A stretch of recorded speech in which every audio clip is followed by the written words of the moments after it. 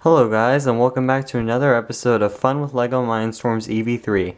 Now guys, in this episode, I will be bringing back an old, an old classic. The, um, the main gauntlet, or motorized hand as some might call it. Um, this one is going to be kind of like your standard hand, but also with um, a couple little extra features that I added. I'm calling this one Blades. So I'm to start giving these kind of like nicknames now because it's kind of cool. I kind of like giving them names. Now Blades might not sound that cool, but I do have a couple other names for some other projects I'll be making later on. But anyway, um, so I got I want to talk to you about yeah I want to talk to you guys really quick about where this series has been.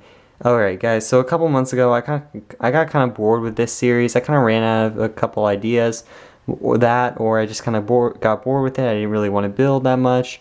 But now I'm bringing it back because you guys really do love this series. It's one of my most popular ones on my channel.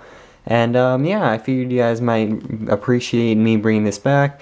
And yeah, so I'm going to be working on um, 10 new projects for this wave um, or like season 2 or whatever.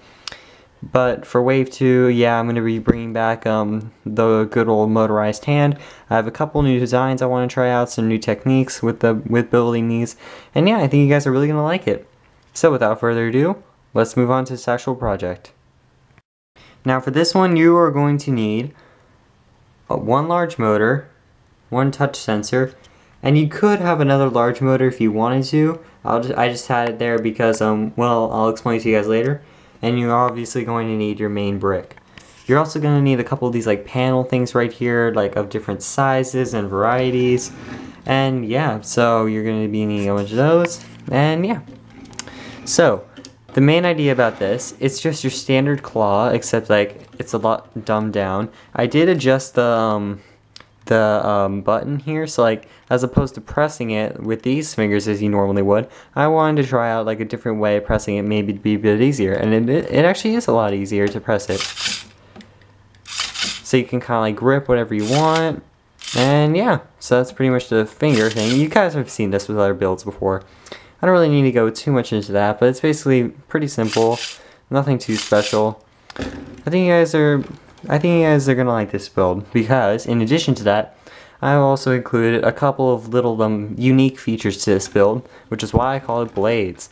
Now, for this one, I did include um, a variety of um, features such as this. So you guys can kind of like flip it over as it um as it basically like yeah pretty much just that. Nothing too special but it, it does form like a very cool blade and it does come out to be a very cool feature. Now it's pretty simple you just have to have like this hinge piece right here and then um, when it comes out I kind of like you might want to keep it in a locked position like um, that's what I figured you um, it'd be cool to have. So I do have a little locked position you kind of just like push these down and that like hooks over this piece and there it's pretty much like stuck there right now. And there you have like your main blade for like, I don't know, jabbing people with. Um, yeah, violence. Um, anyway, I do have another little blade on here, one of which I'm particularly proud of. That is because it does have like, it. I love this design. It looks so cool, honestly. Like, um, this design of a blade, so bulky yet like cool looking. And basically what makes it cool is that, well, um, you kind of need two hands for this, but I guess you guys can get the gist of it. Um, you basically just fold it out. So now I have built on my Mark II hand, I did build um, a knife on that, however it was not nearly as cool as this one. Like this one just kind of like folds out and such, like it, it basically just folds back out. So you guys know how it works. Um, it's, it's pretty cool, I honestly do like it. Um, I was planning on making it motorized, as you can see, um, but I ran across a couple problems. One, I do I only have one touch sensor. Two, I figured it would be cool though to like kind of like be able to have it like on a manual setting, where basically like all you, you can like fold it out yourself. You can fold out to wherever you want it to, and yeah, so like and it does kind of like stay in place there if you wanted to and um, yeah, so basically like you have the knife right here and you have your main blade.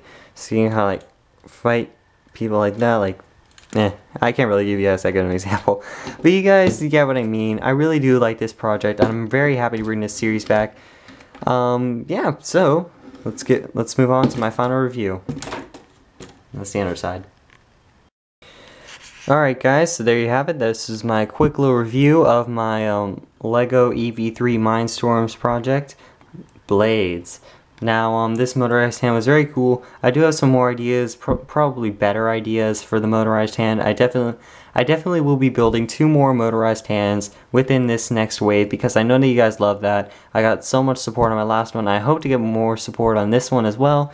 Even though it's not my best project, it does look pretty cool, and I'm happy to be bringing this series back with it for another wave. I will be obviously building other projects besides these hands. I do have other ideas, but I really do like this concept, and yeah. So, be sure to leave me some feedback down below. If you have any questions, be feel free to ask.